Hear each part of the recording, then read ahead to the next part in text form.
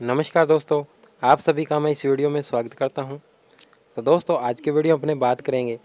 रीट शिक्षक भर्ती 2018 level two के अंदर सभी सब्जेक्ट की जो इसकी कट ऑफ़ है वो क्या है? अर्थात कट ऑफ़ 2018 सभी सब्जेक्ट की इसमें अपने कट ऑफ़ देखेंगे। तो दोस्तों, आप इस कट ऑफ़ को ज़रूर देखें, क्या आप इसी सेफ़ जोन के अंदर है या नहीं है। वीडियो शुरू करने से पहले आप सभी से रिक्वेस्ट है कि आप R S study trick channel को सब्सक्राइब कर बेल आइकन को भी प्रेस करें। दोस्तों, वीडियो अच्छा लगे तो प्लीज़ लाइक करें, शेयर करें और कमेंट भी करें। चलो दोस्तों, देखते हैं, सबसे पहले बात करते हैं अपने।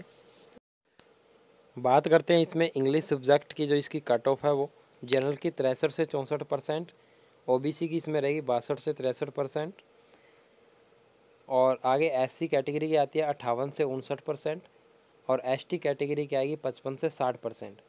दोस्तों, ये कट ऑफ़ रहेगी इंग्लिश सब्जेक्ट की। आगे अपने सब्जेक्ट की बात करते हैं, हिंदी। हिंदी की जनरल की इसकी कट ऑफ़ रहेगी इकहत्तर से बहत्तर परसेंट OBC की रहेगी सत्तर से इकहत्तर परसेंट, और एससी कैटेगरी की रहेगी चौंसठ से पैंसठ परसेंट, और एसटी कैटेगरी की रहेगी तिरसठ से चौंसठ परसेंट। तो दोस्तों, ये हिंदी की कैटेगरी की जो कट ऑफ़ है, वो रहेगी।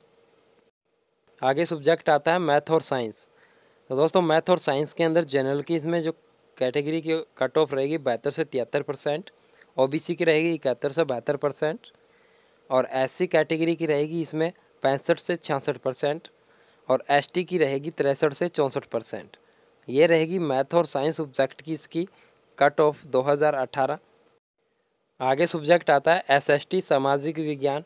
इसमें जनरल कैटेगरी की जो कट ऑफ़ रहेगी बहत्तर से तिहत्तर परसेंट ओबीसी की रहेगी इकहत्तर से बहत्तर परसेंट और एससी कैटेगरी की रहेगी सड़सठ से अड़सठ परसेंट और अंत में आता है इसकी एसटी कैटेगरी, उसकी रहेगी पैंसठ से छियासठ परसेंट।